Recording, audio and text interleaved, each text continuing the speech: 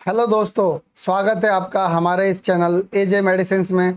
मेरा नाम है अजीत और आज मैं आप लोगों के सामने एक नई वीडियो के साथ फिर से हाजिर हूँ। आज हम बात करेंगे डेफकोट सिक्स एम टैबलेट की। डेफकोट सिक्स एम टैबलेट के मैं आपको use dose benefit side effect सब कुछ बताऊँगा आप बने रहिए इस चैनल पर अगर आप इस चैनल पर नए हो तो वीडियो कर लो लाइक चैनल को कर लो सब्सक्राइब क्योंकि दोस्तों मैं हमेशा मेडिसिन से रिलेटेड वीडियो इस चैनल पर अपलोड करता हूँ। तो बेल आइकन को प्रेस करके नोटिफिकेशन बेल को ऑल कर दीजिए, ताकि जब भी मैं कोई नई वीडियो अपलोड करूँ तो वो सबसे पहले नोटिफिकेशन के थ्रू जल्द आप तक पहुँच जाए। तो चलिए देर ना करके हम वीडियो को शुरू करते हैं। डेफकोट सिक्स एम टैबलेट एक स्टेरॉयड नामक दवाओं के समूह से संबंधित दवा है, जिसका इस्तेमाल मुख्य रूप से गठिया रोग जैसी प्रॉब्लम में इसे यूज़ किया जाता है। इसके अलावा और भी कई प्रॉब्लम्स में इसके ज़बरदस्त बेनिफिट्स देखे जाते हैं। वो हम आगे इस वीडियो में जानेंगे और ये भी जानेंगे इसे लेने का सही तरीका और किन्हें नहीं लेना चाहिए, ये भी जानेंगे। तो आप लोग बने रहिए इस वीडियो में। फ़िलहाल मैं आपको दिखाता हूँ इसकी पैकेजिंग आप स्क्रीन पे देख रहे होगे डेफकोट सिक्स एम टैबलेट ये एक पत्ते में दस टैबलेट होती हैं और इस एक पत्ते का जो प्राइस है वो है लगभग एक सौ चौबीस रुपये यानी one hundred twenty four rupees only company इसे बनाती है मैक्लोइड फार्मास्यूटिकल्स और कॉम्पोजिशन इसके अंदर होता है।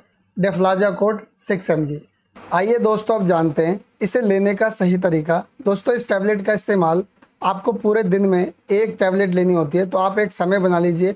आप रात को एक समय बना लें तो ज़्यादा अच्छा होगा। रात में आप खाना खाने के बाद एक टैबलेट लें। इसी तरीके से इसे कंटिन्यू यूज़ करना जब तक डॉक्टर आपको बताते हैं। कई बार डॉक्टर दो बार भी रिकमेंड करते हैं, जैसी कंडीशन पेशेंट की होती है, उस हिसाब से दिया जाता है। तो आपको अगर नॉर्मली डोज यूज़ करना है तो आप एक टैबलेट पर डे ले सकते हो। नाइट में आप लो तो ज़्यादा बेहतर होगा। तो इस तरीके से इसे यूज़ करना है।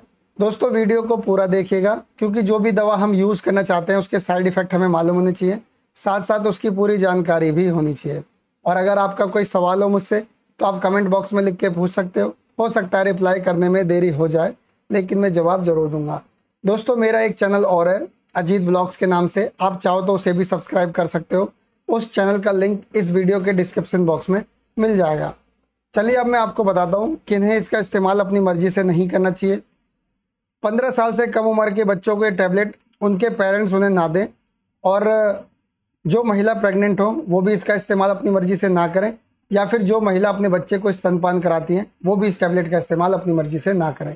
अगर ये लोग यूज़ करना चाहते हैं तो पहले डॉक्टर की सलाह लें, उसके बाद इस्तेमाल करें या फिर अगर डॉक्टर उन्हें देते हैं तो इस्तेमाल कर सकते हैं। चलिए अब मैं आपको बताता हूँ इससे होने वाले बेनिफिट्स दोस्तों, किसी को गठिया रोग हो, काफ़ी समय से वो परेशान हो, सारे जॉइंटों में दर्द होता हो स्पेशली घुटनों में बहुत ज़्यादा दर्द होता हो, बहुत ज़्यादा वो परेशान हो, चला नहीं जाता हो, बैठा उठा नहीं जाता हो सही से, बहुत प्रॉब्लम होने के कारण, कई दवाइयाँ भी उन्होंने कराई लेकिन आराम नहीं मिलता है। तो मैं आपको बताना चाहूँगा, आप इस दवा का इस्तेमाल करना शुरू करोगे जब तो आपकी ये सारी प्रॉब्लम धीरे धीरे ठीक होने लगेगी। या फिर किसी को चर्म रोग हो, यानी कि सोराइसिस की प्रॉब्लम हो एक्जिमा की प्रॉब्लम हो, दाद हो, या फंगल इन्फेक्शन किसी तरीके का इन्फेक्शन हो स्किन इन्फेक्शन उसमें अगर आप इसे यूज़ करते हो तो उसमें भी काफ़ी आराम आपको मिलता है। और अगर किसी को दमा की प्रॉब्लम हो तो उसमें भी ये काफ़ी आराम देता है। साथ साथ मैं आपको बताना चाहूँगा, अगर किसी को पैर में या कहीं पे भी दर्द होता हो या सूजन हो उसमें बहुत ज़्यादा तो अगर उसमें इसे इस्तेमाल किया जाए तो उसे भी ये ठीक कर देता है। या फिर अगर किसी को आँखों से जुड़ी परेशानी हो तो आँखों से जुड़ी परेशानी को भी ये ठीक कर देता है। और कई बार ये कैंसर के इलाज के लिए भी यूज़ किया जाता है। तो ये थे इसके बेनिफिट्स। चलिए अब मैं आपको बताता हूँ इससे होने वाले साइड इफ़ेक्ट। दोस्तों, टैबलेट लेने के बाद अगर आपको आँखों से जुड़ी ज़्यादा परेशानी होने लगे तो समझ लीजिए आपको ये सूट नहीं हो रहा। या फिर आपकी हड्डियाँ कमज़ोर होने लगे, शरीर में बिल्कुल भी जान महसूस ना हो तो भी आप समझ सकते हो कि आपको ये सूट नहीं हो रहा। या फिर आपको रैसेस पड़ने लगे, पूरे शरीर पे चकते पड़ने लगे तो भी आप समझ सकते हो कि आपको ये सूट नहीं हो रहा। या फिर आपको बहुत ज़्यादा भूख लगने लगे तो भी आप समझ सकते हो कि आपको ये सूट नहीं हो रहा।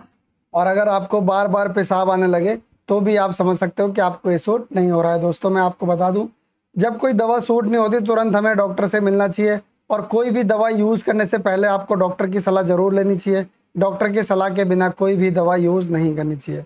आई होप कि आपको वीडियो पसंद आई होगी। तो आज के लिए इतना ही। कल फिर मिलूँगा एक नई वीडियो में एक नई जानकारी के साथ। तब तक के लिए मुझे इजाज़त दीजिए। Good bye.